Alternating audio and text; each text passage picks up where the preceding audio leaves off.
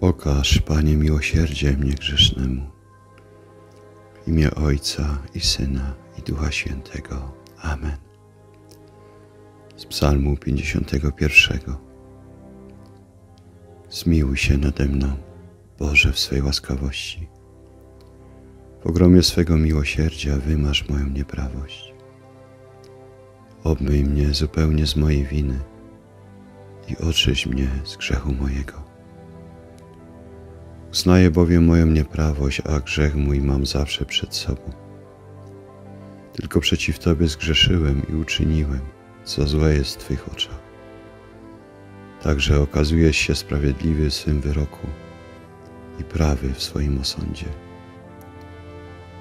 Oto zrodzony jestem w przewinieniu i w grzechu poczęła mnie matka. Oto Ty masz upodobanie w ukrytej wprawdzie. Naucz mnie, tajników mądrości. Pokrop mnie hizopem, a stanę się czysty. Obmyj mnie, a nad śnieg wybieleje. Spraw bym usłyszał radość i wesele. Niech się radują kości, której skruszył. Odwróć oblicze swe od moich grzechów i wymasz wszystkie moje przewinienia. Stwórz, o Boże, we mnie serce czyste i odnów w mojej piersi ducha niezwyciężonego.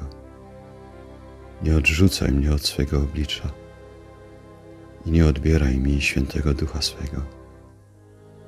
Przywróć mi radość z Twojego zbawienia i wzmocnij mnie duchem ochoczym. Chcę nieprawych nauczać dróg Twoich i nawrócą się do Ciebie grzesznicy. Od krwi uwolnij mnie, Boże mój Zbawco. Niech mój język sławi Twoją sprawiedliwość. Otwórz moje wargi, Panie, a usta moje będą głosić Twoją chwałę. Ty się bowiem nie radujesz ofiarą i nie chcesz całopaleń, choćbym je dawał. Moją ofiarą, Boże, duch skruszony. Nie gardzisz, Boże, sercem pokornym i skruszonym.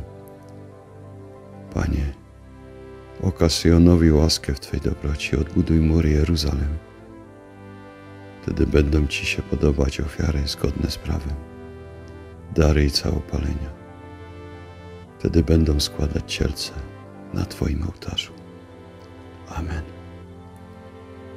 W imię Ojca i Syna i Ducha Świętego. Amen.